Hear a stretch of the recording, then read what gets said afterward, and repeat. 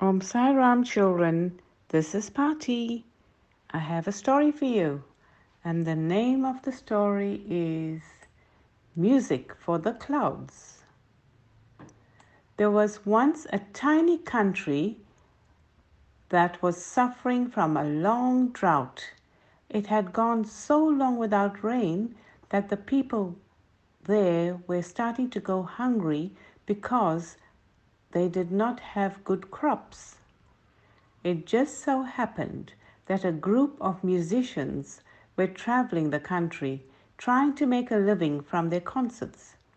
But with so many problems in the land, no one felt like listening to music.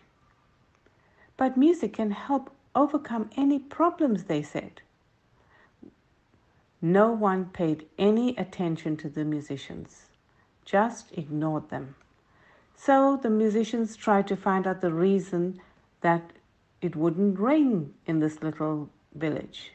It was very strange because the sky was overcast, but no one could provide an answer. It's been cloudy like this for many months, but not a single drop of rain has fallen, people would tell them. Don't worry, we'll bring rain to the country, the musicians said and they began rehearsing for a concert at the summit of the highest mountain. Everyone who heard the music was so curious and they decided to go up the mountain. The conductor and his orchestra gave the order and the musicians began to play. From their instruments came small, playful musical notes that rose and rose into the clouds.